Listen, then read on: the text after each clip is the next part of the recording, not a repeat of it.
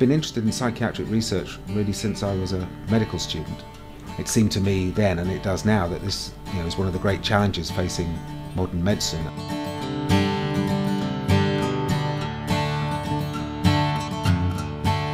The genetics of schizophrenia has really been transformed over the past five years. Five years ago, we knew that the disorder is genetic. Now we have a wealth of evidence telling us that really disorders like schizophrenia, the genetic component is very complex. It involves many genes, hundreds of different genes probably. What we want out of this work is to start to get a handle on the biology. What are the genes telling us about schizophrenia? And I think we're starting to get enough data that we can do that. And this is really very exciting and is, I think, beginning to tell us where in the brain we should look. And it's actually where in cells we should look.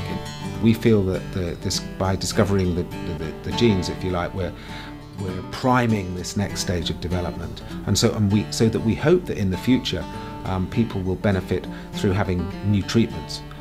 Well, it's a great honour to receive the Lieber Prize. I've been really delighted by it. Having the approval of your peers, of other distinguished scientists, um, who's saying that you know they admire your work, the best compliment that you can get in science.